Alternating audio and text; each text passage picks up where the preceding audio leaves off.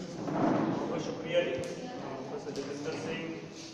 professor Narinder Kumar professor professor ਕੇ director ਜੀ madam ਰਿਸ਼ੀ ਸ਼ਰਮਾ ਅਸੀਂ ਗੱਲ ਕਰ ਰਹੇ ਸੀ ਇਸ ਗੱਲ ਤੋਂ ਪਹਿਲਾਂ ਕਿ ਡਿਸਕਸ਼ਨ ਕੀਤੀ ਜਾਵੇ ਟੌਪਿਕ ਡਿਸਾਈਡ ਹੋਇਆ ਸੀ logic and faith Ki difference ਹੈ ਉਹਨਾਂ ਦੋਨਾਂ ਦੇ ਵਿੱਚ ਮੈਂ ਇਸ ਵਿਸ਼ੇ ਤੇ ਤੁਹਾਡੇ ਨਾਲ ਕੁਝ ਸਮਾਂ ਗੱਲਬਾਤ ਕਰੂੰਗਾ ਔਰ ਗੱਲਬਾਤ ਦੇ ਆਖਿਰ ਦੇ ਵਿੱਚ ਤੁਸੀਂ ਕੋਈ ਸਵਾਲ ਤੁਹਾਡੇ ਦਿਮਾਗ ਦੇ ਵਿੱਚ ਬਣਦੇ ਤੁਸੀਂ ਕਰ ਸਕਦੇ ਹੋ ਵੈਲਕਮ ਜੇ ਮੈਨੂੰ ਸਮਝ ਹੋਏਗੀ ਉਹਨਾਂ ਸਵਾਲਾਂ ਦੀ ਤਾਂ ਮੈਂ ਜ਼ਰੂਰ ਆਨਸਰ ਦੇਵਾਂਗਾ ਜੇ ਮੈਨੂੰ ਸਮਝ ਨਹੀਂ ਹੋਏਗੀ ਤਾਂ ਮੈਂ ਜਵਾਬ ਦੇ ਦੂੰਗਾ ਕਿ ਮੈਨੂੰ ਨਹੀਂ ਪਤਾ, ਠੀਕ ਹੈ ਜੀ? ਸੋ ਇਹ ਕੋਈ ਬਹਿਸ ਜਿਹੜੀ ਹੈਗੀ ਹੈ ਕ੍ਰੀਏਟਿਵ ਚੱਲੇਗੀ ਕੋਈ ਵਿਰੋਧ ਵਾਲੀ ਗੱਲ ਨਹੀਂ। ਦੋ ਗੱਲਾਂ ਮੈਂ ਸਾਫ਼ ਕਰ ਦੇਣਾ ਚਾਹੁੰਦਾ ਇਸ ਸ਼ੁਰੂਆਤ ਦੇ ਵਿੱਚ ਹੀ। ਪਹਿਲੀ ਗੱਲ ਇਹ ਹੈ ਕਿ ਮੇਰੀ ਬਹਿਸ ਜਿਹੜੀ ਆਪਾਂ ਗੱਲਬਾਤ ਕਰ ਰਹੇ ਹਾਂ, ਇਹ ਕੋਈ ਬਹਿਸ ਨਹੀਂ ਹੈ ਤੇ ਔਰ ਨਾ ਹੀ ਕਿਸੇ ਪਾਰਟਿਕੂਲਰ ਕਿਸੇ ਧਰਮ ਦੇ ਖਿਲਾਫ ਹੈ। ਕੋਈ ਧਰਮ ਦੇ ਵਿੱਚ ਇਨਵੋਲਵ ਨਹੀਂ ਹੈ ਇਹ ਲੌਜੀਕ ਤੇ ਫੇਥ ਦੀ ਗੱਲ ਹੈ। ਮੈਂ ਕਿਸੇ ਪਾਰਟਿਕੂਲਰ ਧਰਮ ਵੱਲ ਅਹ, ਜੇ ਤੁਹਾਨੂੰ ਲੱਗਦਾ ਕਿ ਇਸ਼ਾਰਾ ਹੋ ਗਿਆ ਤਾਂ ਉਹ ਮੇਰੇ ਵੱਲੋਂ ਜਾਣਬੁੱਝ ਕੇ ਨਹੀਂ ਹੋਏਗਾ ਇਸ਼ਾਰਾ ਹੋ ਸਕਦਾ ਔਰ ਦੂਸਰੀ ਗੱਲ ਹੈਗੀ ਹੈ ਕਿ ਮੈਂ ਦੋ ਸ਼ਬਦ ਵਰਤੂੰਗਾ ਮੈਂ ਕਲਾਸਾਂ ਦੀ ਐਕਸਰਸਾਈਜ਼ ਕਰ ਰਹਾ ਹਾਂ। ਇੱਕ ਸ਼ਬਦ ਹੈ ਕੁਦਰਤ ਔਰ ਇੱਕ ਸ਼ਬਦ ਹੈ ਰੱਬ। ਤਾਂ ਮੇਰੀ ਗੱਲਬਾਤ ਦੇ ਵਿੱਚ ਕੁਦਰਤ ਸ਼ਬਦ ਜ਼ਿਆਦਾ ਵਰਤਿਆ ਜਾਊਗਾ ਰੱਬ ਵਾਲਾ ਸ਼ਬਦ ਘੱਟ ਹੋਏਗਾ। ਔਰ ਮੈਂ ਤੁਹਾਨੂੰ ਇਹਨਾਂ ਦੇ ਵਿੱਚ ਫ਼ਰਕ ਦੱਸ ਦੇਣਾ ਚਾਹੁੰਦਾ ਕਿ ਕੁਦਰਤ ਤੇ ਰੱਬ ਦੇ ਵਿੱਚ ਕੀ ਫ਼ਰਕ ਹੈ। ਜਿਹੜੀਆਂ ਗੱਲਾਂ ਅਸੀਂ ਅਕਸਰ ਇਹਨਾਂ ਦੋਨਾਂ ਸ਼ਬਦਾਂ ਨੂੰ ਇੱਕ ਇੱਕ ਸਮਝ ਲੈਂਦੇ ਹਾਂ ਕਿ ਇੱਕੋ ਹੀ ਗੱਲ ਹੈਗੀ ਆ ਕਿ ਜਿਵੇਂ ਆਪਾਂ ਪਿੰਡਾਂ ਦੇ ਵਿੱਚ ਅਕਸਰ ਦੇਖਦੇ ਹਾਂ ਕਿ ਕੁਦਰਤ ਨੇ ਬਹੁਤ ਮਾੜਾ ਕੀਤਾ ਅੱਧੇ ਕਹਿਣਗੇ ਰੱਬ ਨੇ ਬਹੁਤ ਮਾੜਾ ਕੀਤਾ ਮੰਨ ਲਓ ਬੇਮੌਸਮੀ ਬਾਰਿਸ਼ ਹੋ ਗਈ ਮੰਨ ਲਓ ਕਿਸੇ ਦੀ ਬੇ ਅਹ, ਮਤਲਬ ਅਹ, ਅਣਵਕਤੀ ਮੌਤ ਹੋ ਗਈ ਤਾਂ ਵੀ ਉੱਥੇ ਸ਼ਬਦ ਆਪਾਂ ਵਰਤ ਲੈਂਦੇ ਹਾਂ ਕਿ ਕੁਦਰਤ ਨੇ ਕੋਈ ਧੱਕਾ ਕੀਤਾ ਇਹਦੇ ਨਾਲ ਔਰ ਕੁਝ ਬੰਦੇ ਵਰਤ ਲੈਂਦੇ ਨੇ ਪਰਮਾਤਮਾ ਨੇ ਕੋਈ ਧੱਕਾ ਕੀਤਾ ਪਰ ਮੈਂ ਇਹਨਾਂ ਦੋਨਾਂ ਸ਼ਬਦਾਂ ਨੂੰ ਵੱਖਰੇ ਵੱਖਰੇ ਮੰਨ ਕੇ ਚੱਲਦਾ ਪਹਿਲੀ ਗੱਲ ਤਾਂ ਇਹ ਕੁਦਰਤ ਦਾ ਮਤਲਬ ਇਹ ਹੈ ਕਿ ਜਿਵੇਂ ਅਸੀਂ ਮੰਨਦੇ ਹਾਂ ਕਿ ਸਾਡੀ ਧਰਤੀ ਸੂਰਜ ਦੇ ਦੁਆਲੇ ਚੱਕਰ ਲਾਉਂਦੀ ਹੈ, ਪੂਰੇ ਬ੍ਰਹਿਮੰਡ ਪੂਰਾ ਯੂਨੀਵਰਸ ਹੈ, ਉਹ ਆਪਣੇ ਨਿਯਮਾਂ ਦੇ ਵਿੱਚ ਬੱਝਿਆ ਹੋਇਆ, ਆਪਣੇ ਆਪ ਆਪਣਾ ਕੰਮ ਕਰ ਰਿਹਾ ਹੈ ਸਾਰੇ ਦਾ ਸਾਰਾ ਬ੍ਰਹਿਮੰਡ ਹੈ ਜੋ, ਉਹ ਆਪਣੇ ਨਿਯਮ ਨੇ ਉਹਦੇ, ਉਹਨਾਂ ਨਿਯਮਾਂ ਦੇ ਵਿੱਚ ਬੱਝਿਆ ਹੋਇਆ, ਆਪਣੇ ਆਪ ਚੱਲਦਾ ਹੈ। ਜਿਹੜੇ ਇਸ ਚੀਜ਼ ਨੂੰ ਮੰਨਦੇ ਨੇ, ਉਹ ਕਹਿੰਦੇ ਨੇ ਕੁਦਰਤ ਕਹਿੰਦੇ ਨੇ ਸਾਰੇ ਸਿਸਟਮ ਔਰ ਜਿਹੜੇ ਕਹਿੰਦੇ ਨੇ ਕਿ ਇਹ ਜਿਹੜਾ ਬ੍ਰਹਿਮੰਡ ਚੱਲਦਾ ਹੈ ਇਹ ਜਿਹੜੇ ਨਿਯਮ ਬਣਾਏ ਨੇ ਨਿਯਮਾਂ ਬਣਾਉਣ ਵਾਲਾ ਕੋਈ ਇੰਡੀਵਿਜੂਅਲ ਕੋਈ ਵਿਅਕਤੀ ਹੈ ਔਰ ਉਹਦੇ ਇਸ਼ਾਰੇ ਤੇ ਹੀ ਸਾਰਾ ਕੁਝ ਚੱਲਦਾ ਹੈ। ਦੋ ਡਿਫਰੈਂਸ ਹੈਗੇ ਨੇ ਦੇ ਵਿੱਚ ਮੋਟੇ ਤੌਰ ਤੇ। ਜੇ ਆਪਣੇ ਆਪ ਚੱਲਦਾ ਤਾਂ ਇਹ ਕੁਦਰਤ ਹੈ, ਉਹਦੇ ਨਿਯਮ ਬਣੇ ਹੋਏ ਨੇ, ਉਹ ਨਿਯਮਾਂ ਦੇ ਮੁਤਾਬਿਕ ਲੱਖਾਂ ਸਾਲਾਂ ਤੋਂ, ਕਰੋੜਾਂ ਸਾਲਾਂ ਤੋਂ ਚੱਲ ਰਿਹਾ ਧਰਤੀ ਬਣੀ ਨੂੰ ਸਾਢੇ 4 ਬਿਲੀਅਨ ਈਅਰ ਦਾ ਸਮਾਂ ਹੋ ਗਿਆ ਜਦੋਂ ਧਰਤੀ ਬਣੀ ਹੈ। ਔਰ ਧਰਤੀ ਤੇ ਜੀਵ ਦੀ ਉਤਪਤੀ ਹੈ ਜਿਹੜੀ ਉਹ 3.5 ਬਿਲੀਅਨ ਈਅਰ ਤੋਂ ਪਹਿਲਾਂ ਮੰਨੀ ਜਾਂਦੀ ਹੈ ਇਹ ਕੋਈ ਪੱਕਾ ਨਹੀਂ ਹੈ ਇਹ ਵਿਗਿਆਨੀਆਂ ਦਾ ਅਨੁਮਾਨ ਹੈ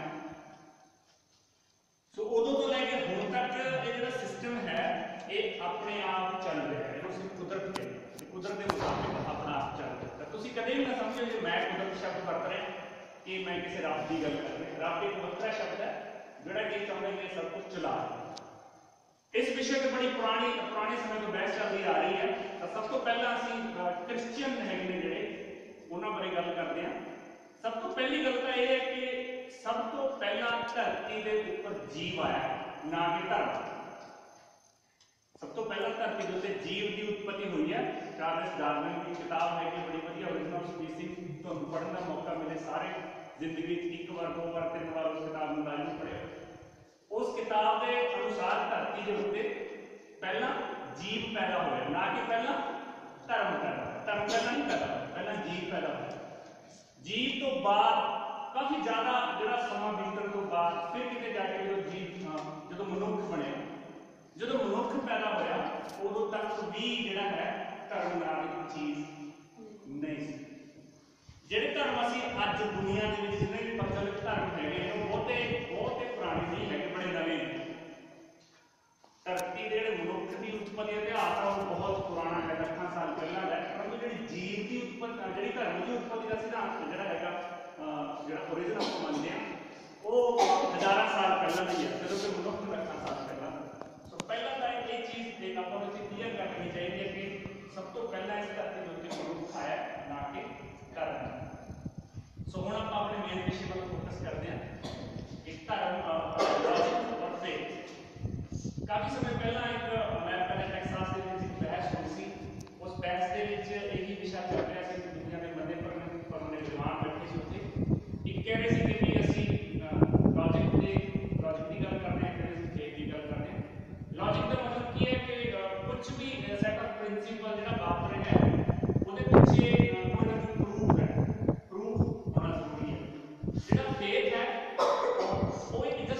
Lodge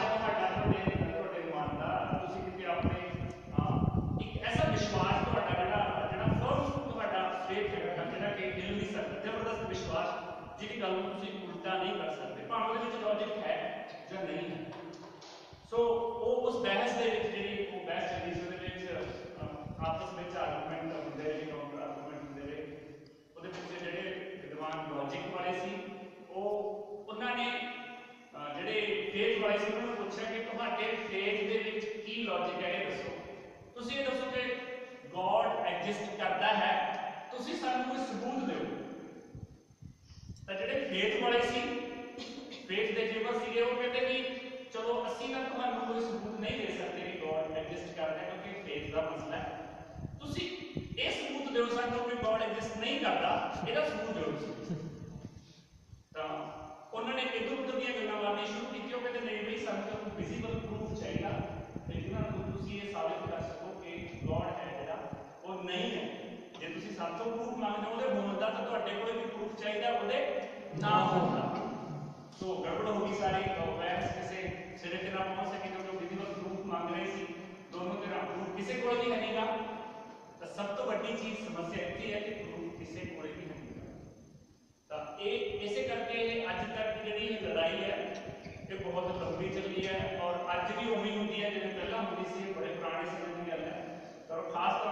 ਜਿਹੜੇ ਪੂਰੇ ਵਿਸ਼ਵ ਦੇ ਵਿਦਵਾਨ ਨੇ ਇਹਦੇ ਵਿੱਚ ਸ਼ਾਮਲ ਰਹੇ ਨੇ ਔਰ ਉਹਨਾਂ ਨੇ ਬੜੇ ਬੜੇ ਆਪਣੇ ਆਪਣੇ ਲੌਜੀਕ ਦੇ ਵਿੱਚ ਪੇਸ਼ ਕੀਤੇ ਨੇ ਪਰ ਇੱਕ ਚੀਜ਼ ਇਹਦੇ ਵਿੱਚ ਨਿਕਲ ਕੇ ਸਾਹਮਣੇ ਆਈ ਹੈ ਜਿਹੜਾ ਜਿਹੜੀ ਗੱਲ ਮੈਂ ਤੁਹਾਡੇ ਨਾਲ ਮੇਨ ਫੋਕਸ ਕਰਨਾ ਚਾਹੁੰਦਾ ਮੈਂ ਤੁਹਾਡੇ ਨਾਲ ਮੇਨ ਸ਼ੇਅਰ ਕਰਨਾ ਚਾਹੁੰਦਾ ਇਹਨੂੰ ਆਪਾਂ ਹੁਣ ਅੱਗੇ ਤਿੰਨ ਨੂੰ ਨਾ ਇਹਦੇ ਕ੍ਰਾਈਟੇਰੀਆ ਬਣਾ ਦਿੰਦੇ ਹਾਂ ਪਹਿਲੀ ਗੱਲ ਹੈ ਪਿਓਰ ਲੌਜਿਕ ਜਿਹਦੇ ਵਿੱਚ ਇੱਕ, ਅਹ, ਕੋਈ ਨਾ ਕੋਈ ਪ੍ਰੂਫ ਹੁੰਦਾ ਹੈ ਔਰ ਦੂਸਰੀ ਗੱਲ ਹੈ ਫੇਥ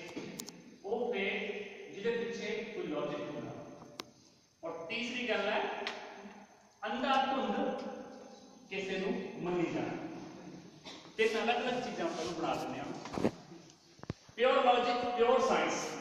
pure logic ਕੀ ਹੈ ਪਿਓਰ ਸਾਇੰਸ ਹੈ। ਸਾਇੰਸ ਦੇ ਵਿੱਚ ਹਮੇਸ਼ਾ ਇਵੇਂ ਹੁੰਦਾ ਹੈ ਕਿ ਕੋਈ ਕੰਟਰਡਿਕਸ਼ਨ ਨਹੀਂ ਹੈਗੀ।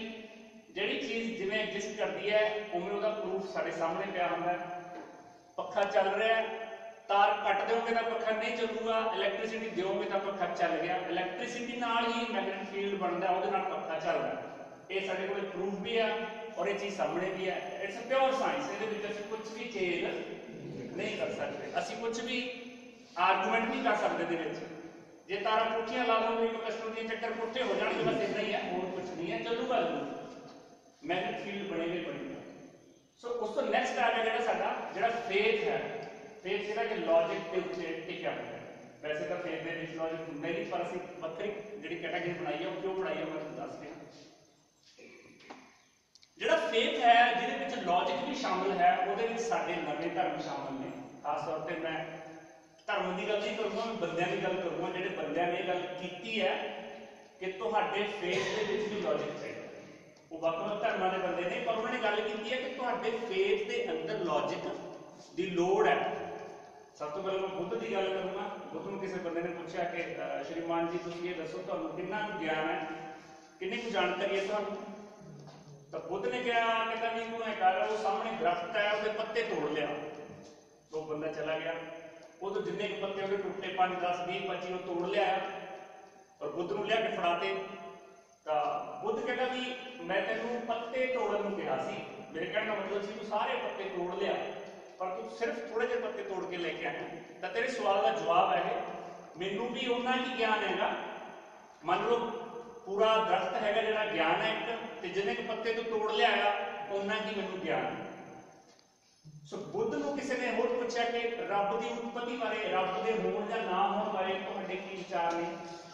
ਤਾਂ ਬੁੱਧ ਨੇ ਬੜਾ ਸਪਸ਼ਟ ਤੇ ਸਿੱਧਾ ਸਾਦਾ ਜਵਾਬ ਦਿੱਤਾ ਕਿ ਸ਼੍ਰੀਮਾਨ ਜੀ ਮੈਨੂੰ ਇਸ ਗੱਲ ਦੀ ਜਾਣਕਾਰੀ ਨਹੀਂ ਹੈ ਰੱਬ ਹੈ ਜਾਂ ਨਹੀਂ ਹੈ ਮੈਂ ਇਹਦੇ ਬਾਰੇ ਬਿਲਕੁਲ ਚੁੱਪ ਹਾਂ ਸੋ ਬੜਾ ਜ਼ਬਰਦਸਤ ਆਰਗੂਮੈਂਟ ਸੀ ਉਸ ਬੰਦ ਉਸ ਬੰਦੇ ਦਾ ਜਿਹੜਾ ਹੋਇਆ ਤਾਂ ਬੇਸ਼ੱਕ ਬੁੱਧ ਵਰਗੀ साधना बुद्ध वर्गी भक्ति किसी बंद ने नहीं की पर बड़ा स्पष्ट बंदा सी, वैज्ञानिक बंदा सी, जिन्हें कहा कि रब है या नहीं है मैं नहीं पता तो दूसरी गल आप नानक की करते हैं। तो नानक भी बिल्कुल इस तरह का बंदा सी, पूरी दुनिया गाड़ी पूरी दुनिया के अपना मैसेज उन्हें दसिया अपना सुनेहा फैलाया, और हमेशा लॉजिक की गल की लॉजिक बड़ा लॉजिकल सी। जिमें कहानियाँ सुन रहे हो, प्रचलित कहानियाँ ने ਬਟ ਉਹ ਲੋਕਾਂ ਨੇ ਵਿਗਾੜ ਦਿੱਤੀਆਂ ਨੇ ਉਵੇਂ ਨਹੀਂ ਹੈਗੀਆਂ ਜਿਵੇਂ ਉਹ ਨਾਨਕ ਨੇ ਪੇਸ਼ ਕੀਤਾ ਸੀ ਜਿਵੇਂ ਆਪਾਂ ਇਹ ਇਹ ਗੱਲ ਸੁਣਦੇ ਆ ਕਿ ਬਾਬਾ ਨਾਨਕ ਮੱਕੇ ਚਲਾ ਗਿਆ ਔਰ ਮੱਕੇ ਨੂੰ ਲੱਤਾਂ ਕਰਕੇ ਸੌਂ ਗਿਆ ਔਰ ਮੌਲਵੀ ਆਏ ਮੌਲਵੀਆਂ ਨੇ ਚੱਕ ਕੇ ਉਹਦੀਆਂ ਲੱਤਾਂ ਪਰੇ ਕਰਤੀਆਂ ਕਿ ਤੂੰ ਮੱਕੇ ਵੱਲ ਲੱਤਾਂ ਕਿਉਂ ਕੀਤੀਆਂ ਹੋਈਆਂ ਤਾਂ ਮੱਕਾ ਵੀ ਆਪਣੇ ਆਪ ਉਧਰ ਘੁੰਮ ਗਿਆ ਐਵੇਂ ਸੁਣਦੇ ਨਾ ਤੁਸੀਂ ਪਰ ਐਵੇਂ ਨਹੀਂ ਸੀ ਗੱਲ ਐਕਚੁਅਲੀ ਗੱਲ ਕੀ ਸੀ ਕਿ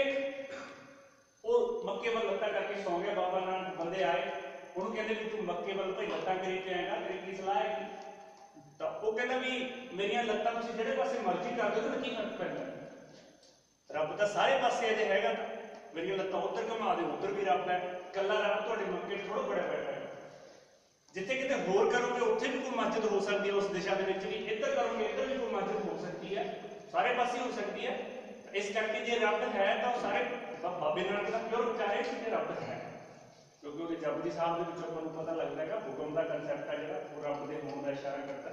ਪਰ ਉਹ ਜੇ ਹੈ ਤਾਂ ਉਹ ਸਾਰੇ ਪਾਸੇ ਹੈ ਤੁਹਾਡੇ ਇਕੱਲੇ ਮੱਕੇ ਵਾਲੇ, ਤੁਹਾਡੇ ਇਸ ਮੁਸੀਬ ਦੇ ਵਿੱਚ ਨਹੀਂ ਹੈ। ਪੂਰਾ ਲੌਜੀਕਲ ਆਨਸਰ ਸੀ ਤੱਕ ਵਾਲਾ ਆਨਸਰ ਸੀ ਕਿ ਜੇ ਹੈ ਤਾਂ ਸਾਰੇ ਪਾਸੇ ਹੈ। ਤੁਸੀਂ ਮੇਰੀ ਲੱਤਾਂ ਜਿਹੜੇ ਪਾਸੇ ਮਰਜ਼ੀ ਕਰਿਓ ਕੋਈ ਫ਼ਰਕ ਨਹੀਂ ਪੈਂਦਾ। ਫਿਰ ਦੂਸਰੀ, ਤੁਸੀਂ ਉਹ ਪਾਣੀ ਦੇਣ ਵਾਲੀ ਘਟਨਾ ਸੁਣਦੇ ਹੋ ਕਿ ਮੰਦਿਰ ਦੇ ਵਿੱਚ ਗਿਆ ਪਾਣੀ ਦੇ ਰਿਹਾ ਸੀਗਾ। ਔਰ ਉਹਨੂੰ ਉਹ ਪੁੱਠੇ ਪਾਸੇ ਲੋਕ ਸੂਰਜ ਨੂੰ ਪਾਣੀ ਦੇ ਰਹੇ ਸੀ, ਉਹ ਪੁੱਠੇ ਪਾਸੇ ਪਾਣੀ ਦੇਣਾ ਸ਼ੁਰੂ ਕੀਤਾ। ਤਾਂ ਉਹਨੂੰ ਲੋਕਾਂ ਨੇ ਕਿਹਾ ਵੀ ਤੂੰ ਦਿਮਾਗ ਹਿੱਲ ਗਿਆ ਤੇਰਾ ਤੇਰਾ ਢਾਂਚਾ ਠੀਕ ਨਹੀਂ ਹੈਗਾਗਾ ਵੀ ਤੂੰ ਕਿੱਧਰ ਪੁੱਠੇ ਪਾਸੇ ਪਾਣੀ ਦੇਈ ਜਾਂਦਾ, ਸੂਰਜ ਤਾਂ ਇੱਧਰ ਹੈ, ਕਹਿੰਦਾ ਮੈਂ ਆਪਣੇ ਖੇਤਾਂ ਨੂੰ ਪਾਣੀ ਦੇਈ ਜਾਂਦਾ। ਕਰਤਾਰਪੁਰ ਵਿੱਚ ਮੇਰੇ ਖੇਤ ਨੇਗੇ ਸਾਰੇ ਲੋਕਾਂ ਨੂੰ ਕਿਹਾ ਵੀ ਯਾਰ ਤੂੰ ਕਮਲਾ ਮੈਂ ਤੇਰੇ ਖੇਤਾਂ 'ਚ ਪਾਣੀ ਕਿਵੇਂ ਵਗੂਗਾ ਕਹਿੰਦਾ ਯਾਰ ਮੇਰੇ ਖੇਤ ਤਾਂ ਨੇੜੇ ਨੇਗੇ, ਸੋਡਾ ਸੂਰਜ ਦਾ ਬਾਲੀ ਦੂਰ ਹੈ, ਤੇ ਸੂਰਜ ਤੱਕ ਸੋਡਾ ਪਾਣੀ ਵਗੂਗਾ ਤਾਂ ਮੇਰੇ ਖੇਤਾਂ ਤੱਕ ਤਾਂ ਬੜੇ ਆਰਾਮ ਨਾਲ ਹੀ ਵਗੂਗਾ ਸੋ ਲੌਜੀਕ ਹੈ ਇਹਦੇ ਪਿੱਛੇ। ਵਿਦਆਊਟ ਲੌਜਿਕ ਕੁਝ ਨਹੀਂ ਹੈ। ਇਹ ਇਹ ਸਾਰੀ ਗੱਲ ਕੋਈ ਧਰਮ ਦੀ ਕੋਈ ਆਸਥਾ ਦਾ ਪ੍ਰਸ਼ਨ ਨਹੀਂ ਹੈ। ਇਹ ਲੌਜਿਕ ਹੈ। ਇਹ ਤਰਕ ਦਾ ਸਵਾਲ ਹੈ। ਸੋ ਜਿਹੜੇ ਸਾਡੇ ਗੁਰੂ ਪੀਰ ਸੀਗੇ, ਜਿਹੜੇ ਬਹੁਤ ਪਹੁੰਚੇ ਹੋਏ ਚੀਜ਼ਾਂ ਤੇ, ਚਾਹੇ ਕਿਸੇ ਵੀ ਧਰਮ ਦੇ ਸੀ, ਉਹਨਾਂ ਨੇ ਹਮੇਸ਼ਾ ਲੌਜਿਕ ਦਾ ਆਸਰਾ ਲਿਆ। ਲੌਜਿਕ ਦੇ ਬੇਸ ਦੇ ਉੱਤੇ ਗੱਲ ਕੀਤੀ। ਗੁਰੂ ਗ੍ਰੰਥ ਸਾਹਿਬ ਦੇ ਵਿੱਚ ਵੀ ਲਾਈਨਾਂ ਆਉਂਦੀਆਂ ਨੇਗੀਆਂ ਕਿ ਜੰਗਲ ਜੰਗਲ ਕਿਆ ਢੂੰਡੇ ਮਨ ਕੰਡਾ ਮੋੜੇ ਬਸੇ ਰੱਬ ਜਿਆਦੀ ਹੈ, ਜੰਗਲ ਕਿਆ ਢੂੰਡੇ ਕਿ ਤੁਸੀਂ ਅਹ, ਜੇ ਰੱਬ ਚਾਹੁੰਦੇ ਹੋ ਇੱਧਰ ਉੱਧਰ ਭਗਤੀਆਂ ਕਰਕੇ ਜੰਗਲਾਂ ਦੇ ਵਿੱਚ ਭਟਕਦੇ ਫਿਰਦੇ ਹੋ ਤਾਂ ਰੱਬ ਇੱਥੇ ਨਹੀਂ ਹੈਗਾ। ਤਾਂ ਬਸੇ ਰੱਬ ਖਿਆਲੀ ਹੈ। ਰੱਬ ਹਿਰਦੇ ਦੇ ਵਿੱਚ ਵੱਸਦਾ ਜੰਗਲ ਕਿਆ ਢੂੰਡੇ ਜੰਗਲਾਂ ਦੇ ਵਿੱਚ ਕੀ ਭਾਲਦੇ ਹੋ ਸੋ ਇਹ ਲਾਈਨਾਂ ਵੀ ਬੜੀਆਂ ਸਪਸ਼ਟ ਨੇਗੀਆਂ ਕਿ ਬਈ ਇਹ ਇਹ ਵੀ ਲੌਜਿਕ ਵੱਲ ਇਸ਼ਾਰਾ ਕਰਦੀਆਂ ਨੇ।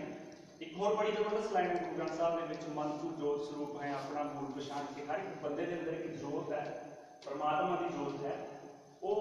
ਉਹ ਅੰਦਰ ਹੀ ਹੈ ਬੰਦਾ ਜੋ ਸਭ ਕੁਝ ਹੈ। ਬਾਹਰ ਉਹਦਾ ਕੁਝ ਵੀ ਨਹੀਂ ਹੈ। ਜੇ ਬੰਦਾ ਆਪਣੇ ਆਪ ਨੂੰ ਵੀ ਸਹੀ ਤਰੀਕੇ ਨਾਲ ਪਹਿਚਾਣ ਲੇ, ਤਾਂ ਸਭ ਕੁਝ ਹੋ ਸਕਦਾ ਹੈ। ਇੱਧਰ ਉੱਧਰ ਜਾਣ ਦੀ ਕਿਤੇ ਲੋੜ ਨਹੀਂ ਹੈ। ਆਪਣਾ ਅੰਦਰ ਹੀ ਉਹਦੇ ਸਭ ਕੁਝ ਹੈ। ਇਹ ਗੱਲ ਵੀ ਕਮਲ ਜੀ ਸਰ ਨੂੰ ਪਤਾ ਹੈ।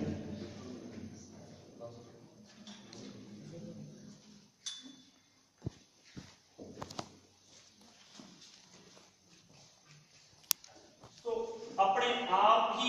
ਅੰਦਰ ਹੈ ਸਭ ਕੁਝ ਉਹਦੇ ਹਿਸਾਬ ਨਾਲ ਆਪਣੇ ਆਪ ਨੂੰ ਉਹਦਾ ਰੈਗੂਲੇਟ ਕਰ ਸਕਦਾ ਹੈ ਜਿਵੇਂ ਆਪਣੀਆਂ ਫਾਈਵ ਸੈਂਸਸ ਨੇ ਉਹਨਾਂ ਫਾਈਵ ਸੈਂਸਸ ਦੇ ਉੱਤੇ ਉਹਨਾਂ ਦੀ ਕਮਾਂਡ ਰੱਖ ਦੇਵੇਗਾ ਅਹ ਪੂਰਾ ਕਰੇਗਾ ਤਾਂ ਆਪਣਾ ਵਧੀਆ ਜ਼ਿੰਦਗੀ ਜਿਉ ਸਕਦਾ ਕਿਸੇ ਪਾਸੇ ਵੀ ਜਾਣ ਦੀ ਕੋਈ ਲੋੜ ਨਹੀਂ ਹੈ ਕੋਈ ਨਹੀਂ ਇਸ ਨੋ ਇਸ ਨੋ ਨਹੀਂ ਲਿਸਨ ਸੋ ਇਹ ਸਾਰੀਆਂ ਗੱਲਾਂ ਲੌਜੀਕ ਵੱਲ ਇਸ਼ਾਰਾ ਕਰਦੀਆਂ ਨੇ ਇੱਕ ਤੀਸਰੀ ਗੱਲ ਆ ਗਈ ਕਿ ਬਿਨਾ ਸਿਰ ਪੈਰ ਤੋਂ ਕਿਸੇ ਦੀ ਗੱਲ ਫਾਲੋ ਕਰਨੀ, ਜਿਹਨੂੰ ਅਸੀਂ ਫੇਥ ਕਹਿੰਦੇ ਆ ਫੇਥ ਦੇ ਅੰਦਰ ਵੀ ਥੋੜਾ ਬਹੁਤ ਲੌਜੀਕ ਚਾਹੀਦਾ, ਮੈਂ ਤੁਹਾਨੂੰ ਗੱਲ ਕਰ ਰਿਹਾ ਸੀਗਾ। ਜਿਹੜਾ ਬਿਲਕੁਲ ਹੀ ਐਸਾ ਫੇਥ ਹੈ ਜਿਹਦੇ ਵਿੱਚ ਕੋਈ ਲੌਜੀਕ ਨਾਲ ਦੀ ਚੀਜ਼ ਹੀ ਹੈ ਨਹੀਂ ਬਿਨਾ ਸਿਰ ਪੈਰ ਦੀਆਂ ਗੱਲਾਂ ਨੇਗੀਆਂ ਉਹ ਅੱਜ ਕੱਲ ਅਸੀਂ ਸਾਡੇ ਆਸੇ-ਪਾਸੇ ਵਾਪਰਦੀਆਂ ਦੇਖਦੇ ਉਹਨਾਂ ਗੱਲਾਂ ਤੋਂ ਬਹੁਤ ਹੀ ਸੁਚੇਤ ਰਹਿਣ ਦੀ ਲੋੜ ਹੈ। ਜਿਹੜਾ ਮੇਨ ਮੈਸੇਜ ਹੈ ਤੁਹਾਡੇ ਤੱਕ ਉਹ ਆ ਕਿ ਜਿਹੜੀ ਵੀ ਚੀਜ਼ ਤੁਸੀਂ ਆਸੇ-ਪਾਸੇ ਵਾਪਰਦੀ ਦੇਖਦੇ ਹੋ ਉਹਦੇ ਵਿੱਚ ਜ਼ਰੂਰ ਲੱਭਿਆ ਕਰੋ। ਜੇ ਤੁਹਾਨੂੰ ਲੌਜੀਕ ਨਜ਼ਰ ਆਉਂਦਾ ਤਾਂ ਠੀਕ ਹੈ, ਜੇ ਲੌਜੀਕ ਨਜ਼ਰ ਨਹੀਂ ਆਉਂਦਾ ਤਾਂ ਤੁਸੀਂ ਉਹਨੂੰ ਵਹਿਮ ਪਖੰਡ ਜੋ ਵੀ ਮਰਜ਼ੀ ਮੰਨ ਸਕਦੇ ਹੋ। ਉਸ ਧਾਰਨਾ ਨੂੰ ਤੁਹਾਡੇ ਘਰਾਂ ਦੇ ਵਿੱਚ ਆਪਣੀਆਂ ਪੁਰਾਣੀਆਂ ਬਜ਼ੁਰਗ ਬੈਠੀਆਂ ਹੋਣਗੀਆਂ, ਉਹ ਇੱਕ ਕੰਮ ਕਰਦੀਆਂ ਹੁੰਦੀਆਂ ਤੁਸੀਂ ਆਪਣੇ ਸਾਰੇ ਧਿਆਨ ਦਿੱਤਾ ਹੋਵੇ ਕਦੇ। ਔਰ ਕਹਿੰਦੀ ਕਿ ਕਸਰ ਹੋ ਗਈ ਹੈ, ਔਰ ਕਸਰ ਦੇ ਕਸਰ ਲੱਭਣੀ ਸ਼ੁਰੂ ਕਰ ਦਿੰਦੀਆਂ ਨੇ। ਇੱਕ ਥਾਲ ਲੈ ਲੈਂਦੀਆਂ ਨੇ, ਥਾਲ ਦੇ ਉੱਤੇ ਛੰਨਾ ਨੇ ਹੋਰ ਭਾਂਡਾ ਮੁੰਦਾ ਮਾਰ ਦਿੰਦੀਆਂ ਨੇ। ਥਾਲ ਦੇ ਵਿੱਚ ਪਾਣੀ ਪਾਇਆ ਹੁੰਦਾ ਹੈ ਔਰ ਫਿਰ ਬਲਦੇ ਹੋਏ ਕੋਲੇ ਲੈ ਲੈਂਦੀਆਂ ਨੇ ਔਰ ਉਹ ਜਿਹੜਾ ਮੁੱਦਾ ਮਾਰਿਆ ਹੁੰਦਾ ਭਾਂਡਾ ਉਹਦੇ ਉੱਤੇ ਕੋਲੇ ਟਿਕਾਉਣੇ ਸ਼ੁਰੂ ਕਰ ਦਿੰਦੀਆਂ ਨੇ ਕਿ ਆਹ ਫਲਾਣਾ ਬਾਬਾ ਆਹ ਫਲਾਣਾ ਬਾਬਾ ਟਿੱਕਾ ਬਾਬਾ ਟਿੱਕਾ ਬਾਬਾ। ਚਾਰੇ ਦਿਸ਼ਾਵਾਂ ਉਹਦੀਆਂ ਮੰਨ ਲੈਂਦੀਆਂ ਨੇ ਔਰ ਫਿਰ ਉਹਦੇ ਉੱਤੇ ਘਿਓ ਪਾਉਂਦੀਆਂ ਨੇ ਬਲਦੇ ਹੋਏ ਕੋਲੇ ਦੇ ਉੱਤੇ ਘਿਓ ਪਾਇਆ ਜਾਂਦਾ ਹੈ ਔਰ ਜਿਹੜੇ ਪਾਸੇ ਪਾਣੀ ਦੇ ਵਿੱਚੋਂ ਦੀ ਹਵਾ ਨਿਕਲਦੀ ਹੈ ਉਹ ਭਾਂਡਾ ਖਾਲੀ ਹੁੰਦਾ ਹੈ ਔਰ ਉਹ ਪਾਣੀ ਦੇ ਵਿੱਚੋਂ ਦੀ ਹਵਾ ਨਿਕਲਦੀ ਹੈ